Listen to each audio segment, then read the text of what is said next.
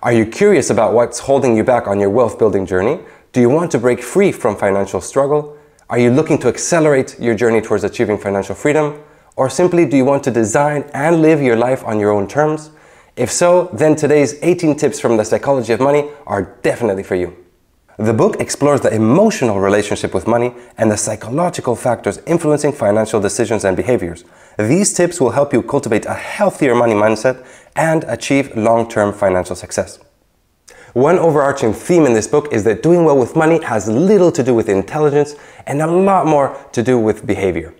Most people can achieve high degrees of financial success by mastering a few behavioral skills that have little to do with any formal measure of financial expertise. Number one is to differentiate between luck and risk. Nothing is as good or bad as it seems. We tend to focus on stories of successful individuals, but often overlook the role of luck. Consider the case of Bill Gates, who was one of the rare high school students in the US to be able to attend a high school with a computer. Only one in a million high school students of his age had that possibility. Can we even begin to explain his remarkable success without factoring in this incredibly lucky circumstance? Beware of outliers. Extreme outcomes often involve extreme luck or risk, making them very hard to replicate. When it comes to business and investing, focus on general trends and patterns, not on individuals. Number two is to recognize that nobody is crazy. People just face incredibly different experiences with money, which shape their perspectives and decisions. And what people experience is far more compelling than what they learn secondhand. Consider the following graph. If you were born in the 1960s in the US, inflation during your impressionable teens and 20s would have sent prices up threefold. Later in life, this generation would have been more likely to invest their money in stocks and less in bonds, compared to someone, for example, that was born in the 1990s. The same holds true when we consider different backgrounds, parents, values, or for different incomes, incentives, and regions of the world. Everyone has different attitudes and relationships with money and different mental models that result from these vastly different experiences. Nobody's crazy, so don't be so quick to judge. What seems crazy to some is perfectly rational to others. Number three is to identify what is enough for you. The hardest financial skill is getting the goalpost to stop moving. Humans are wired to strive for more more money, more power, more prestige. But if happiness is expectations minus results, we need to find a way to stop the goalpost from moving. Unfortunately, our expectations today are heavily influenced by social comparisons in an online, hyper-connected world. Learn what is enough for you and stick to it. Avoid engaging in social comparisons and stop the goalposts from moving. Number four is to never underestimate the power of compounding. And this is truly amazing. At the time of the book's publishing, 96% of Warren Buffett's net worth had come after his 65th birthday. Let that sink in for a second. There are thousands of articles, books, videos praising Warren Buffett for his investing genius, but nearly none focusing on the most important factor explaining his overall absolute success time in the market. The key takeaway here is that good investing is about earning pretty good returns for a very long period of time to allow for compounding to do the heavy lifting. Number five is to remember that staying wealthy is a different game than getting wealthy. Earning money and keeping money require two very different set of skills. Earning money requires taking risks, being optimistic, and being brave, while keeping money requires a certain degree of humility and even fear that you may lose it. Staying wealthy requires a survivor mentality and the ability to stick around for a long time without making major mistakes to be able to fully benefit from the power of compounding. Number six is to recognize the importance of tail events. A small number of events typically account for the vast majority of outcomes. Many things in business and investing work in this way. Consider that since 1980, only 7% of the stocks of the Russell 3000 index accounted for the overall returns. The other 93% had little to no impact or even had negative returns. Remember, tails drive everything in investing. It is incredibly challenging to identify the needles in the haystack, that 7% or so that may drive stock market returns over the next 30 years. Do you even have the time and resources to study the haystack of 3,000 listed companies?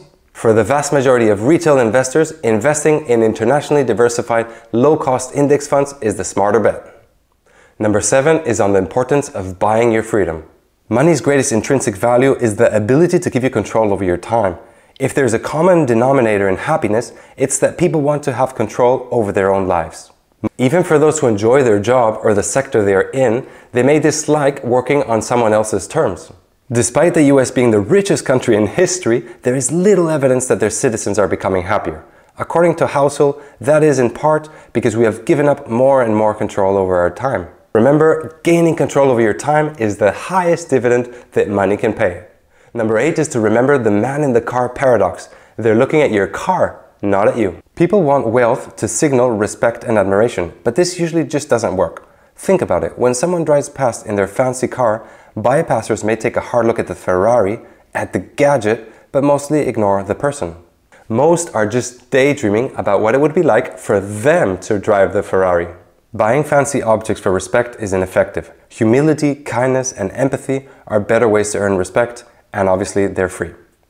Remember, no one's impressed by your possessions as much as you are. Number nine is to recognize that generally, wealth is what you don't see. Spending money to show others how much money you have is actually the fastest way to lose money. We tend to judge wealth by what we see because that is all the information that's in front of us. A nice home, a fancy car, an exotic holiday. We don't have access to their bank statements or to their retirement portfolio. This is a terrible way to make inferences on wealth. Wealth in reality is what you don't see. It's the fancy cars not purchased. It's the watches not worn. It's the diamonds not bought. True wealth comes when you don't spend the money and is what buys you freedom and flexibility.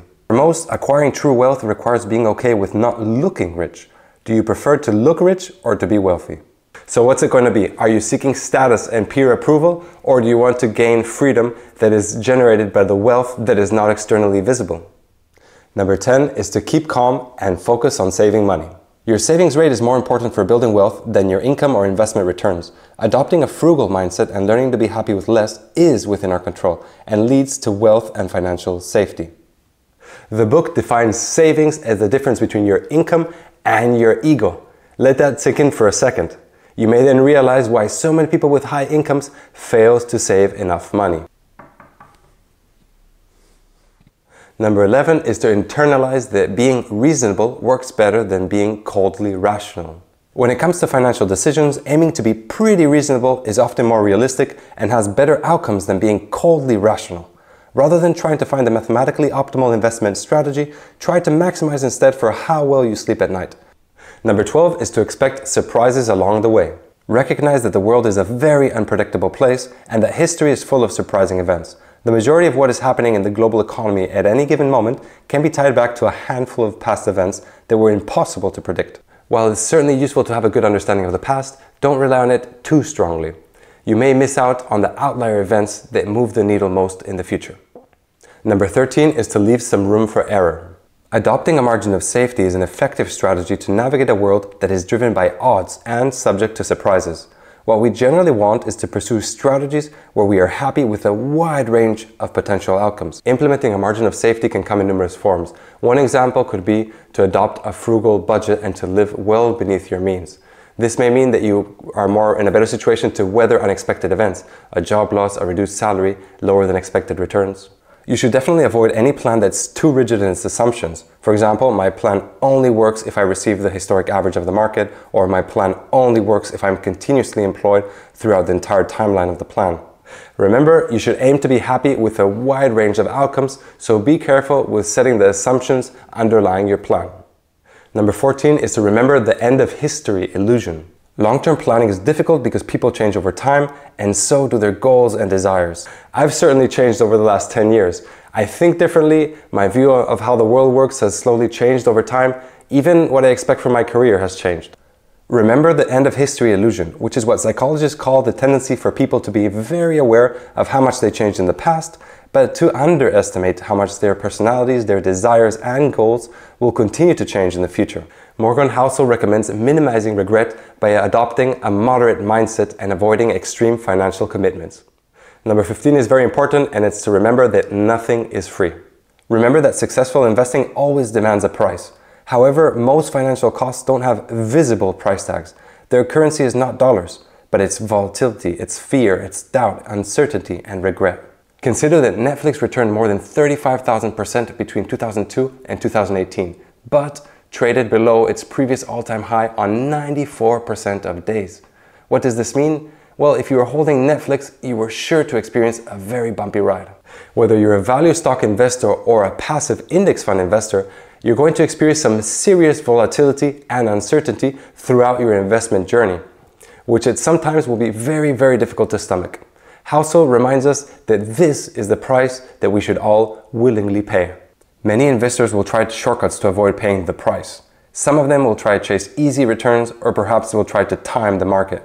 Unfortunately for them, there is no free lunch when it comes to investing, and those who avoided paying the price may end up paying double. Number 16 is to ask yourself which game are you playing? Recognize that there are different types of investors playing very different games with different goals and time horizons.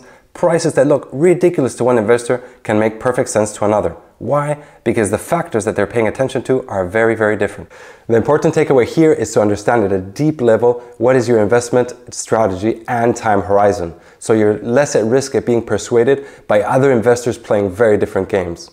For example, I'm mostly a long term index fund investor.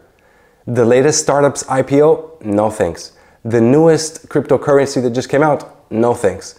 Cathie Wood's latest uh, innovation world changing ETF? No thanks. Number 17 is to remember that pessimism is attractive. Pessimism sounds like someone's trying to help you, while optimism sounds like a sales pitch. However, recognize that optimism is actually our very best bet when it comes to investing because the world tends to get better for most people most of the time. Remember that media will often promote pessimism to keep you engaged, to keep you glued to the TV. Over long periods of time though, the stock market only goes up. Follow the media too closely and you'll always have a sense of worry and urgency. Remember, pessimism is their business. It's not their business to have sincere concerns for your retirement portfolio. Number 18 is to be careful with what you believe. Acknowledge that the more you want something to be true, the more likely you are to believe it, even if it's not accurate. Consider that 85% of mutual funds underperformed their benchmark over the 10 years ending in 2018. Does an industry with such poor track record go out of business? The reality is completely the opposite. There are trillions of dollars in these funds and no shortage of people willing to hand over their life savings to active funds charging very high fees. As mentioned earlier, a lot of people want to avoid paying the price of volatility and doubt, and unfortunately will follow misleading marketing that a lot of these actively managed funds are selling. If these insights resonated with you and you're motivated on your investment journey, check out our latest video on the importance of reaching your first 100K invested on your road to achieving financial freedom. Please like and subscribe if you enjoyed today's content. Take care, see you in the comments below and or in the next video.